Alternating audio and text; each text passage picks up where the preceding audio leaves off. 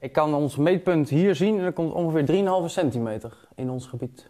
Ja, dus dat wordt flink strooien voor jullie. Dat wordt flink strooien en misschien ook nog wel schuiven. Nieuws alvast over het weer, want het gaat sneeuwen. Onze weerman Raymond Klaassen, die u normaal gesproken vaak aan het einde van de uitzending ziet, vertelt nu alvast wat we kunnen verwachten. Vanavond sneeuwt het geruime tijd in Gelderland. De eerste sneeuw valt aan het eind van de middag in het rivierengebied. En geleidelijk kan breidt die sneeuw zich dan uit naar het noordoosten. En de sneeuw die valt bij temperaturen rond het vriespunt. Dat betekent dat het geleidelijk aan toch ook wel wit gaat worden. Er kan een sneeuwdekje ontstaan van 1 tot 3 centimeter. En door sneeuw kan het natuurlijk glad zijn. Vannacht trekt de sneeuw naar het noorden weg.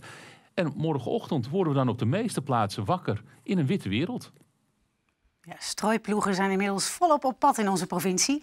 Verslaggever Joost Driessen die staat in Geldermalsen. Joost, ik zie al een strooiwagen achter jou. Zijn ze er helemaal klaar voor daar? Ja, ze zijn er klaar voor, maar welk materieel er ingezet moet worden, dat is nog de vraag. Hier achter mij zie je staan uh, een, uh, een, sneeuwschuiver die er al voorop zit met een strooier achterop. Uh, maar of die sneeuwschuiver nodig is, ja, dat is nog even de vraag. Want hoeveel gaat er precies vallen? Ik sprak eerder met de leider van de strooiploeg, Bart Schonenberg. Het gaat eraan komen. de eerste verwachting is rond 5 uur dat de eerste sneeuwval komt. En die zal om 10 uur vanavond eindigen. Ik kan ons meetpunt hier zien en er komt ongeveer 3,5 centimeter in ons gebied. Ja, dus dat wordt flink strooien voor jullie? Dat wordt flink strooien en misschien ook nog wel schuiven als het uh, echt gaat vallen, die 3,5 centimeter. Ja, jullie doen het al een tijdje, digitaal strooien. Maar voor het eerst dit jaar dat heel Nederland digitaal strooit, of niet? Ja, inderdaad. We gaan uh, proberen iedereen op digitaal te krijgen. Hoe werkt dat precies? Uh, eigenlijk heel makkelijk. Van tevoren lezen we de route in het systeem. En ik kan op dit systeem gewoon mijn eigen route aankruisen. Die ik vanavond ga strooien.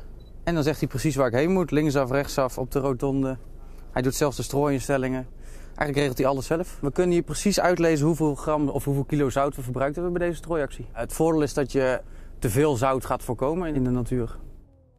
Ja, Joost, 3,5 centimeter is dus de voorspelling. Wat betekent dit voor de ochtendspits morgen? Ja, dat is nog even spannend, want uh, tot nu toe zei Rijkswaterstaat... joh, het gaat gewoon uh, niet uh, aan de grond vriezen. Maar de laatste ontwikkeling is dus dat het waarschijnlijk wel gaat vriezen. En dan wordt het dus glad op de weg. Um, dus dat is even goed weerbericht in de gaten houden. De NS meldt dat zij geen aangepaste dienstregeling hebben. En dat dus gewoon je met de trein kunt gaan en je nog geen rekening moet houden... Maar hou wel even de reisplanner in de gaten. Want het kan maar zo zijn dat die laatste ontwikkelingen en het weer ons verrast. Joost, dankjewel. Ja, en op onze site en in de app houden we u op de hoogte van het laatste sneeuwnieuws. En Frank die praat u morgenochtend op de radio natuurlijk ook helemaal bij.